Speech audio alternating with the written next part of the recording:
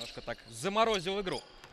Степан Гонтарь сражается в трехсекундной очень уверенно сейчас разбирается со своим оппонентом. Будем видеть больше столкновений, больше нарушений правил будет.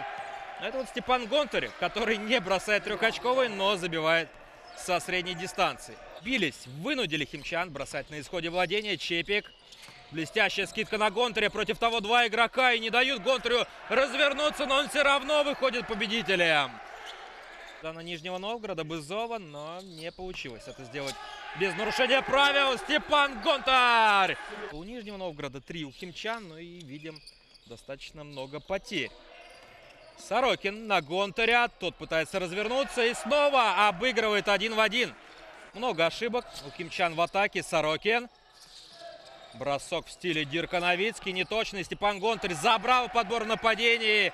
И сам же набрал очки второго шанса. Активно реагирует на персональные замечания. Сорокин с мячом. Попытался ворваться в краску. Передача на Гонтаря. И тот набирает свое 16 очко в этом матче. Для химчан в этой четверти. Здесь потрясающий заброс на Степана Гонтаря.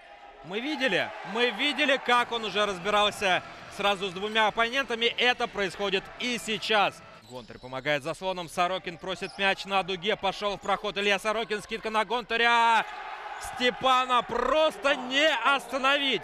Сейчас активизировался Владислав Одиноков. Пытался открыться под получение мяча, но химчане решили сыграть по-другому. Гонтарь ставит блокшот.